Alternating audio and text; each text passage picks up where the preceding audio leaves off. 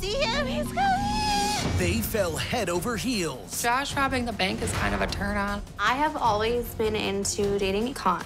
With an inmate. He comes from a nice family. Ted Bundy came from a nice family.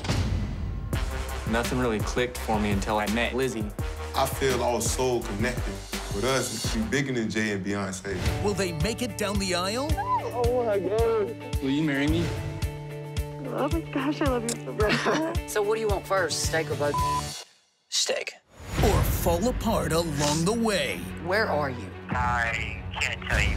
We trust your judgment. It's him. He's unpredictable. I'm actually keeping a very big secret. You gonna go have sex with another dude? I didn't him. All new couples. My family does not know that me and Josh are actually engaged. How much did you spend since he's been locked up? 30000 The wedding ring? The Yeah, wedding's off, it's good. okay? You can get the off my property. I didn't lie, you psycho. All new drama. Shut the up. We're done.